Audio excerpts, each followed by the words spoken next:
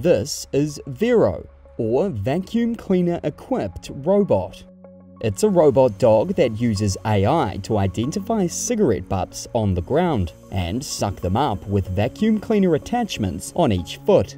Vero's developers hope it's the solution to one of the world's most pressing environmental problems. I, I thought, why not place the feet in a good way that while you're going, you're doing something useful. We can quite easily distinguish what are cigarette butts, for example, and that's just a start. Dr. Claudio Semini is part of the design team at the Italian Institute of Technology in Genoa.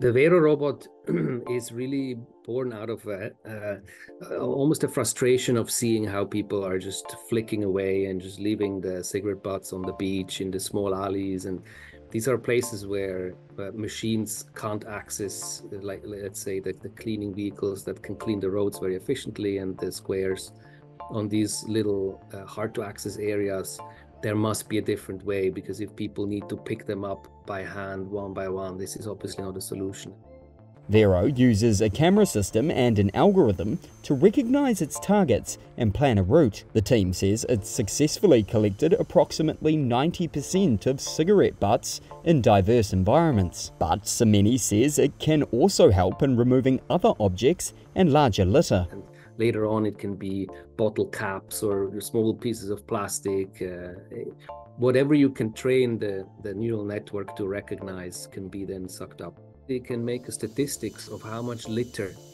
is there in which area and if it finds bigger uh, objects like bottles and um, cartons of, of pizza and whatever we find here in Genoa on the beach in these months when it's nice weather then um, it, it can mark that and later on either a, a human a team or a different robot team can go and, and, and collect also the bigger items.